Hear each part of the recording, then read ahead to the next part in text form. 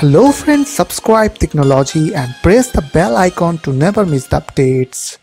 Hey what's up guys? Welcome back to our channel Tricknology. So today in this video I'm going to show you guys how to fix the issue with synchronize uh, in Google Chrome. So you just need to follow me and don't forget to subscribe my channel Tricknology. So as you can see whenever I open Google Chrome is showing paused over there.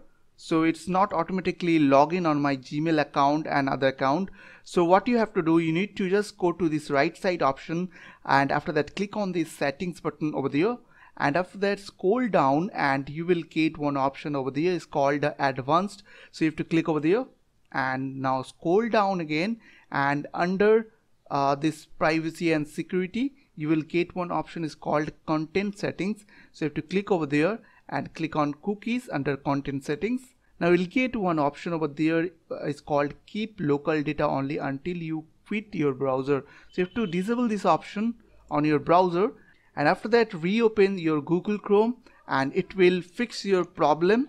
Uh, so you have to log in again on your uh, gmail account and it will fix your problem. So i hope this small video will really help for you. And please don't forget to click on the subscribe button like button and share button. And if you have any queries or questions in the comments down below. I will see you guys in the next one next video. Take care